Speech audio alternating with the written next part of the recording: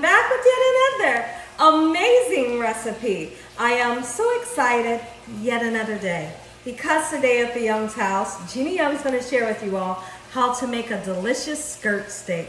We're going to turn this skirt steak into delicious tacos. This recipe right here is absolutely amazing. It's so easy to make, doesn't require a lot of ingredients, and if you make it Gina Young style, it's gonna be so tasty, hands down. Y'all never had my skirt steak tacos, you better make you some. Here are the lovely ingredients you're gonna need. You're gonna need some skirt steak, and this is what it looks like. It's gorgeous. Wash it off. I've washed off my skirt steak using lime juice, salt, and cold water, and then we've pat it dry with a paper towel. You're gonna need some type of uh, tortilla.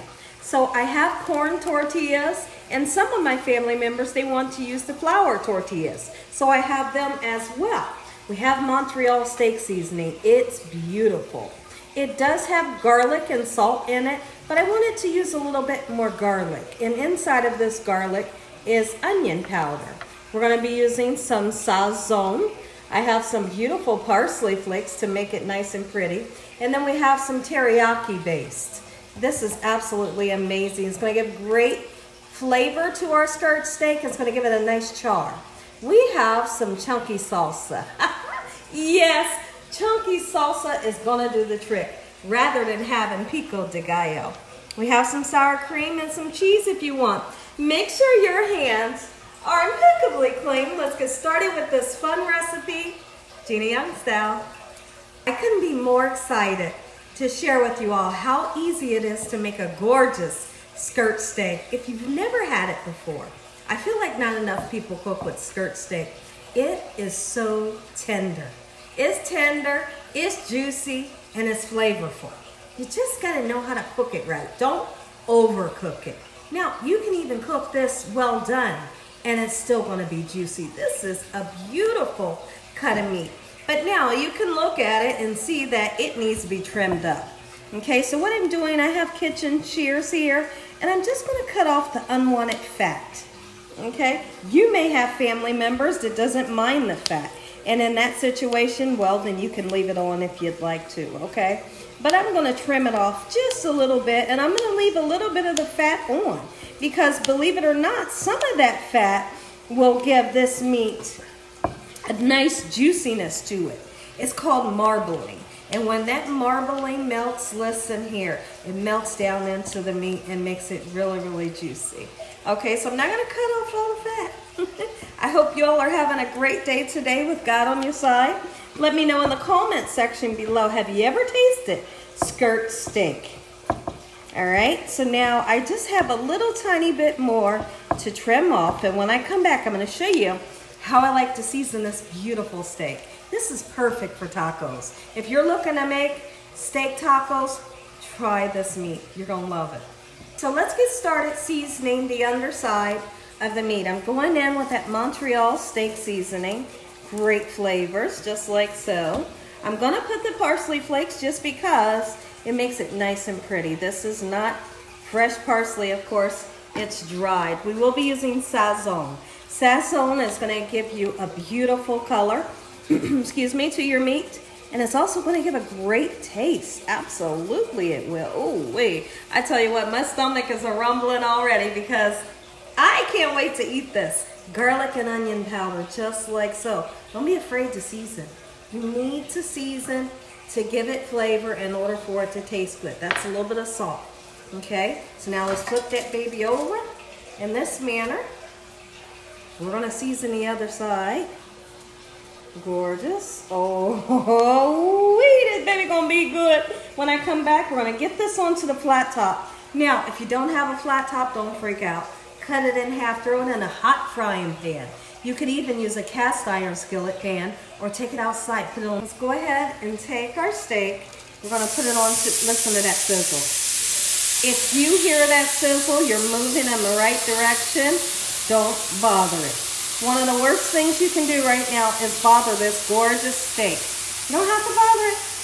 Let it cook, let it cook, let it cook. Now, naturally, you're gonna start to see a golden brown ring towards the bottom. And when you see that, that's gonna be your indication that, hey, listen, time to turn me over, at least check on me, right? And so right now what's happening is a crust is beginning to form with the fat combining with the spices and that hot sear from our skillet that we have here is gonna create, like I said, somewhat of a crust. But if you go bothering it right now, you'll disturb that crust process. Just leave it alone. When I come back, I'm gonna show you the crust that I'm speaking of. You want this to get nice, beautiful, and golden brown. Even if you're cooking this medium, you still want that nice charred, you know, that charred look, that golden brown color to it. All right? So now let's talk about when you're going to use a corn tortilla and or a flour tortilla. You have to put some heat onto them. When you heat your corn tortilla up, it brings that corn flavor to life. It makes it taste better. Versus if you were to try to just eat it this way, it so great, right? You always have to heat it up.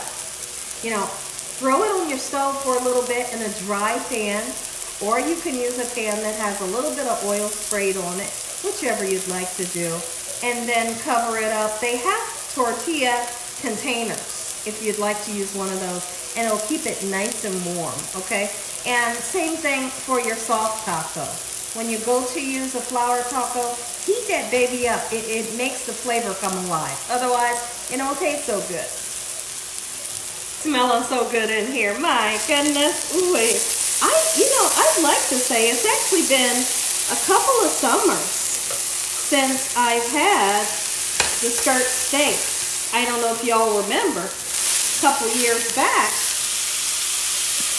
I said a couple of summers, but a couple of years back, I made a skirt steak and I made like a green sauce to put on top of it, and it was astonishing. And we ate it with uh, salad, and it was, I sliced it in such a manner. We had the steak on top of this beautiful salad, and it was outstanding. So when I was shopping yesterday, I said, I must make this again. So here we are. And I'm so excited. I hope you're excited too. Everybody take a look at this. I'm going to flip that baby back over because my husband and our son, they like theirs to be, I'd like to say well done. What I'm going to do is I'm going to cook it medium well. Okay, therefore, if they need to heat up meat a little later, when they heat it up, it will heat up to well done. Okay, look at this. Take a look at this. My goodness. Ooh, we use something else in that kitchen. Mm, mm, mm. You wouldn't believe what it smells like right now. Can y'all see that really good? Uh-huh. Okay, we're getting ready, y'all. Almost there. Let's heat some of our corn tortillas up just like so, just to get them nice and pliable and warm through. You don't have to deep fry these, okay?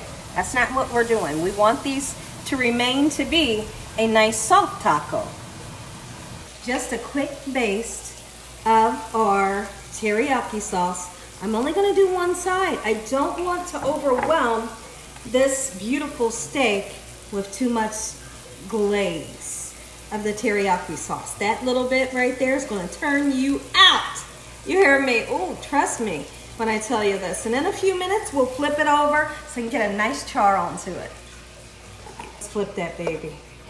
Get it nice and charred on the other side. Come on. Oh, oh, oh. yeah. Wee. Steak. I can't wait. I cannot wait.